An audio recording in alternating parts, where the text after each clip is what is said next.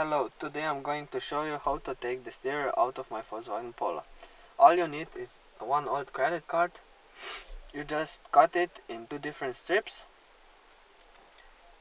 Put approximately 10 millimeters wide.